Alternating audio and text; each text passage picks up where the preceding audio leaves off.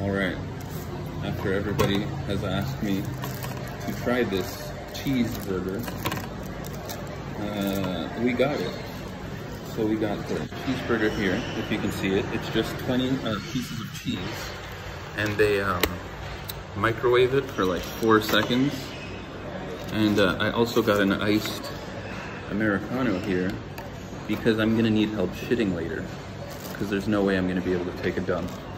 So let's just bite into this cheeseburger. Here we go. Oh, I am the Burger King, by the way. Oh.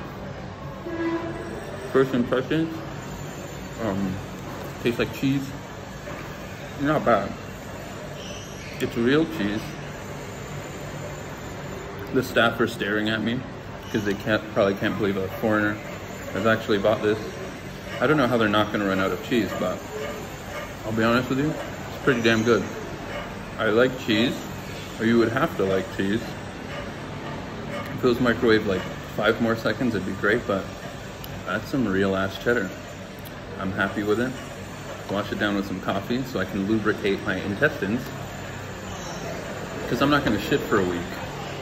So, here we go, my post Muay Thai cheeseburger. Highly recommend.